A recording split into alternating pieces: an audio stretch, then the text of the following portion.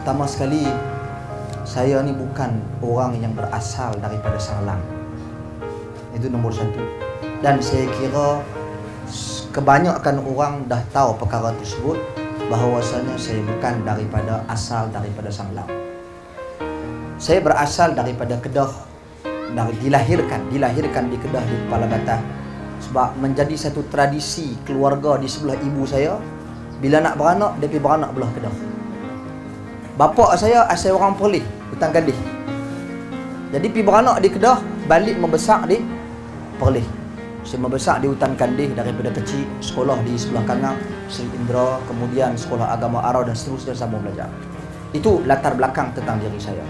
Perjuangan kita, mengapa kita mengangkat bendera ini dan mengapa kita berjuang atas bendera ini dan mengapa kita menerima mandat untuk meneruskan perjuangan ini daripada Datuk Seri Najib Tun Abdul Razak yang merupakan presiden parti kita. Saya secara asasnya apabila menyertai UMNO tahun 2010, saya yakin majoriti di sini adalah orang-orang yang lama dalam UMNO. Tuan-tuan, Abang Wan kata kat saya dia berjuang dalam UMNO ni sejak tahun 1966. Jadi saya nak cerita bab UMNO pun tak berani. Tak berani nak cerita lebih-lebih. Takut-takut sekali lagi berkata hang tahu apa. Namun tuan-tuan, saya meneliti sedikit sebanyak dasar-dasar perjuangan UMNO. Ha, antaranya berkaitan dengan agama Islam. Mempertahankan, mengembangkan dan menegakkan agama Islam di tanah air kita.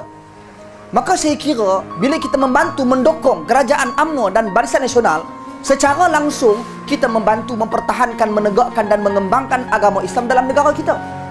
Kelemahan, lembab, salah, kurang memang ada. Tak payah habaq lah siapa-siapa pun. Hang PAS ke hang UMNO ke hang hang PKR ke semua ada kurang semua ada salah semua ada silap. Itu benda biasa. Tapi bila kita bila orang nak tuduh kita dasar UMNO tolak Islam. Kat mana tolak Islam?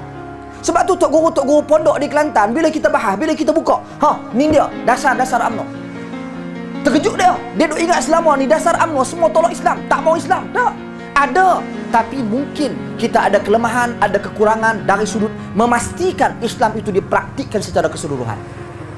Jadi atas asas itu tuan-tuan dan puan sekalian, saya kira saya memikul amanah ini untuk memastikan Islam itu ditegakkan, dipertahankan dan dikembangkan dengan baik di Sanglang khususnya dan kemudian di luar secara umumnya, di negara secara umumnya. Tuan-tuan, jangan tengok Islam dari satu sudut yang kecil. Jangan tengok Islam dari sudut yang kecil. Tengok Islam daripada kacamata yang luas. Islam dari sudut perhubungan, Islam dari sudut salat, Islam dari sudut zakat, Islam dari sudut puasa, Islam dari sudut haji, Islam dari sudut perniagaan, Islam dari sudut pertanian. Semua ni ada ni zaman Nabi sallallahu alaihi wasallam. Bab bertani ni tak payah sembang, zaman Nabi dah ada. Cuma depa tak buat padi. Zaman Nabi depa tanam kurma. Perniagaan kurma dah ada. Kawin pokok dah ada zaman Nabi sallallahu alaihi wasallam. Tuan-tuan, dan Nabi bagikan kepada kita, berikan kepada kita kaedah. Acuan bagaimana Islam ajak nak berniaga. Bagaimana Islam ajak nak bertani. Nabi suruh letak bertani, berniaga nombor dua selepas daripada Islam. Islam duduk nombor satu. Kita nak pembangunan berlaku di Sanglang. Pembangunan bukan pembangunan fizikal sahaja. Maju sahaja. Kita nak pembangunan insan. Manusia dekat dengan agama. Manusia berilmu manusia kembali kepada Allah Subhanahu wa taala. Yang tu yang kita nak terapkan tuan-tuan. Jadi kita gabungkan pembangunan insan jiwa kita dekat dengan Allah dan kemudian pembangunan fizikal yang kerajaan tawarkan nak buat kepada kita. Nak naikkan BRIM. Kemudian kerajaan nak buat kepada kita di Sanglang ni tempat Datuk Seri dan Kasim kata tak tahu lagi di mana. Rahsia. Yang penting kena bagi menang lu 4000 rumah prima. Nak buat di sini.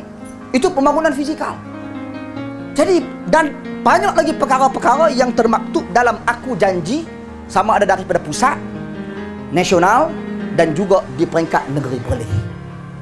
Kita tak mau mai duk cakap, tak apa, kita hapuskan tu, kita hapuskan tu, kita kurangkan kerja minyak, kerja minyak, kita hapuskan uh, pinjaman, kita hapuskan ini, hapuskan ini, turun harga ni, turun harga ni. Tuan-tuan dan sekalian, cakap saja tak bermanfaat. Sekarang ni kita nak bercakap dan kita buktikan. Sebab tu Perdana Menteri kita janji dulu nak bagi BRIM, dia bagi ke tak? Dia bagi. Dan dia bagi itu pada orang tertentu ke bagi pada semua? dia bagi pada semua. Kita tahu, kita boleh nilai. Siapa hak selama ni duk cakap, cakap, cakap akan tetapi perlaksanaan tidak ada.